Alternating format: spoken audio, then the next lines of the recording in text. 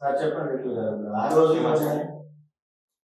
చంద్రబాబు నాయుడు గారు ఓయూ ప్రస్తావిస్తూ దానికి సంబంధించి చంద్రబాబు నాయుడు తెలంగాణకి వ్యతిరేకంగా ప్రవర్తించారు ప్రవర్తించేవారు అనే అర్థంతో మాట్లాడారు. అంటే ఎందువల్ల వచ్చింది మీరు ఉద్యమం ఉన్నారన్నా మీకు జర్నలిస్ట్ ఉద్యమం ఉన్నారు? అనేక ప్రస్థానం మీరు చూసి ప్రత్యక్షంగా అప్పుడు చంద్రబాబు గారు చూశారు రాజశేఖర్ గారు తెలియదు కాదు కానీ చంద్రబాబు నాయుడు ప్రపంచ బ్యాంక్ ఆర్థిక విధానాలు వేరుగా ఉన్నాయి.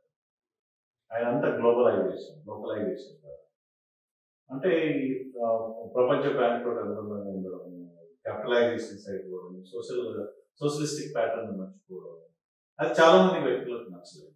అట్ ద సేమ్ టైం తెలంగాణలో వ్యవసాయం దండుగా ఇక్కడ ఏం పంటలు ఉండవు అనే కోణం ఒక నెగిటివ్ కోణంలో తీసుకోవడంతో తెలంగాణ ప్రజలు ఒక తీవ్రమైన ఆగ్రహం వ్యక్తమైంది ప్రపంచ బ్యాంకు కండిషన్స్ కారణంగా కూడా ఆ రోజుల్లో చంద్రబాబు నాయుడు వారు ఉద్యోగాల కల్పన చేశారు ఉద్యోగాలకు సంబంధించిన అనేక అంశాలను కూడా కాలరాశారు.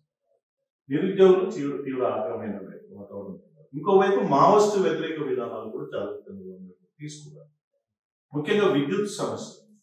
అంటే ఎలక్ట్రిసిటీ తెలంగాణ ఎలక్ట్రిసిటీ ఛార్జెస్ పెట్టడం కానీ రైతులకు సంబంధించిన సృష్టి అంటే సరైన పద్ధతిలో అడ్రస్ చేయలేకపోవడం. ఎట్ ద సేమ్ టైం మనం నిఖచ్చిగా మాట్లాడుకోవాల్సిన ఏంటంటే ఒక ఆంధ్ర బలమైనటువంటి సామాజిక వర్గానికి సంబంధించి ఆయన కొమ్ము కాసింది అనేది చాలా ఒక నిజమైనటువంటి ప్రస్తావన. ముఖ్యంగా హైదరాబాద్ని నేనే డెవలప్ చేస్తున్నాను అని చెప్తున్నటువంటి చంద్రబాబు నాయుడు. తన సామాజిక వర్గానికి కావాల్సినటువంటి ప్రాజెక్ట్ ఈ ప్రాంతంలో ప్రాజెక్ట్ వస్తే మీరు ఇక్కడ భూములు కొనుక్కోండి ధరలు పెరుగుతాయి.